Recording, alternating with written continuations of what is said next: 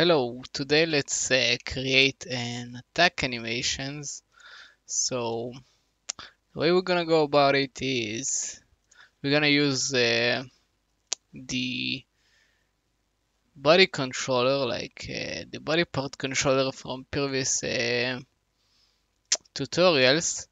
Now okay so this is fairly simple with it so let's actually just do if we press uh, the key Q for example uh, input get key and let's say key code dot e we gotta attack with our uh, right hand.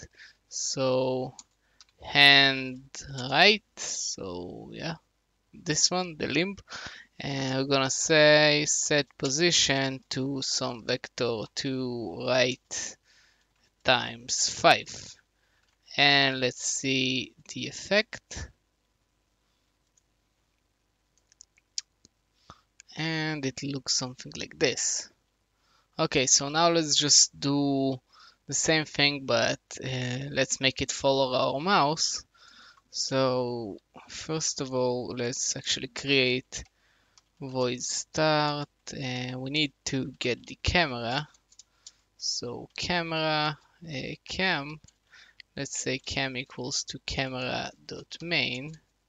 So it would work as long as our uh, camera is tagged as main camera. So in our case it's tagged.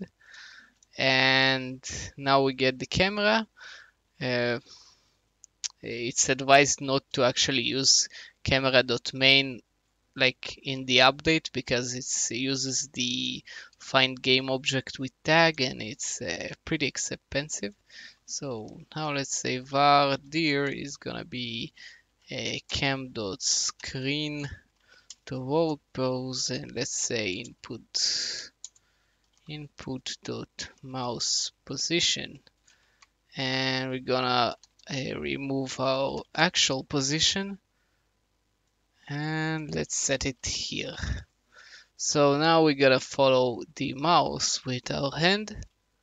Let's see how it looks. So yeah works just fine but uh, as you can see it's kinda slow and not very responsive. So if we want to add some force let's just create a new variable in here and say added force and let's actually do it. Added force is gonna be 1f now here we want to say it's gonna be 1f as long as we don't set it. And this added force is gonna be equal to what we pass. Uh, here we're gonna say added force is equal to 1 and here we're gonna just multiply by added force and let's go to stickman controller and pass some value like 5 now let's see how it looks. And yeah it looks just fine. Now we can try to go here and actually attack him or whatever it's called uh, so now let's add some uh, damage or stuff like this. Uh, but first of all let's just do the same thing for second hand. And let's set it to Q. And let's set to the left hand. Now if uh, you want to know how I made this wall uh, limb class I actually have another tutorial where I made it uh, so I'll link it in the description. Now okay uh, now we want to have some uh, way to get damage so let's create a new script. Let's call it health and this is gonna be really simple uh, just say something like public uh, float health and mm, should be fine. Now, uh, let's actually say void is dead and public bool dead is equal to false. And here true. Now let's say void uh, uh, damage res receive damage. I'm not sure if it's actually spelled like this. Whatever. Uh, guess it's gonna be eh. let's call it get damage whatever. Now uh, float uh, damage. And in here let's say health minus damage. And if health is less than zero. Let's say it's dead now. Uh, all this is uh, I wanna leave it to private. And same here. Now make it show in inspector. Serialized field yeah serialized field and the same here. Okay now let's just drop uh, whatever. Now let's just drop uh, health in here.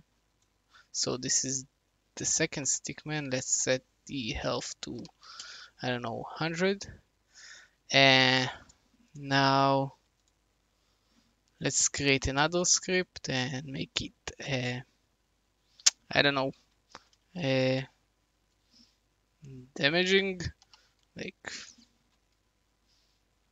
well let's call it weapon whatever. Uh, and this one's gonna be pretty damn simple. In here we would say public uh, void on collision enter 2d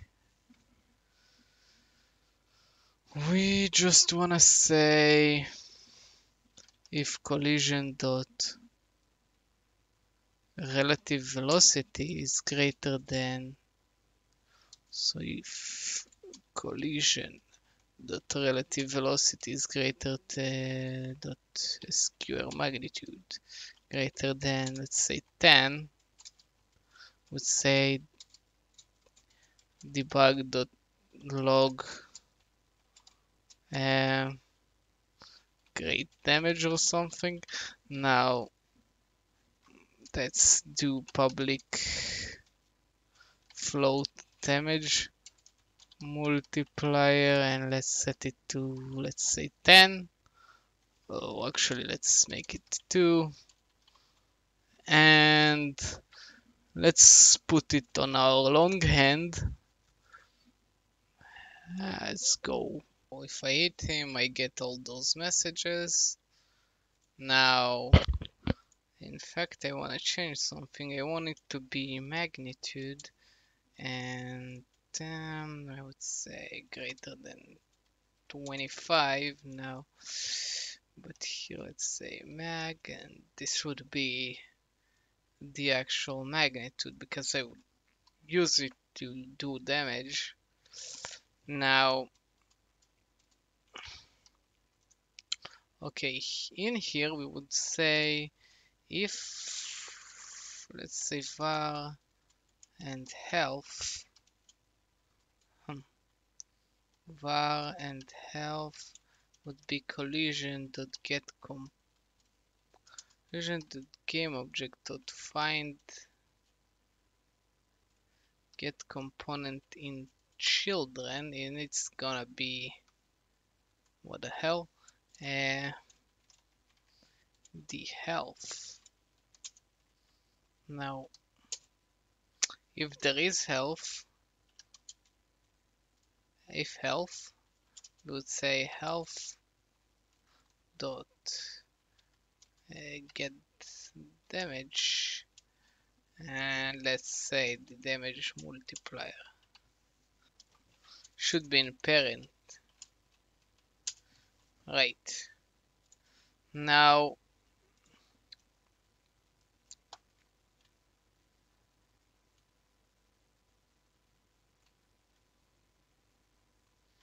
now we hit him and he actually get damage.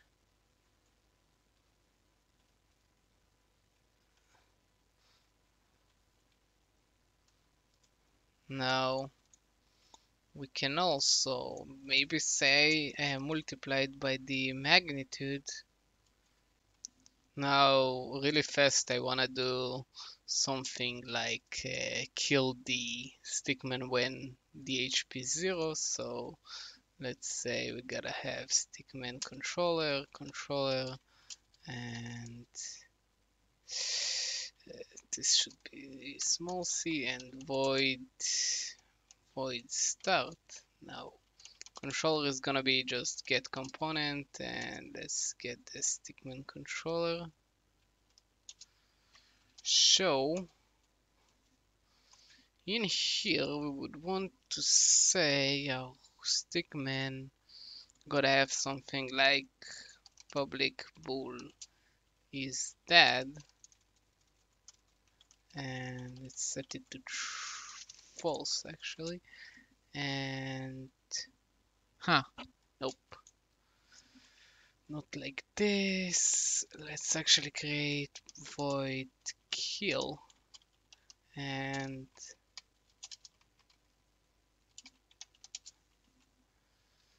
so mm, and here we would say private bool is dead and in here let's say if is dead just return um, so right now our heap doesn't work. And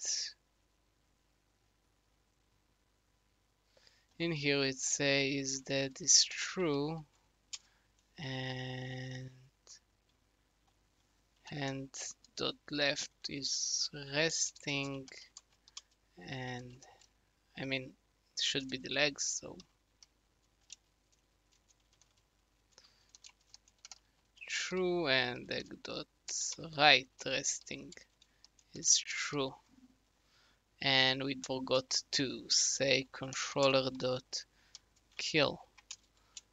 Now let's actually make the hand go back and forth make in here var reverse it's gonna be one.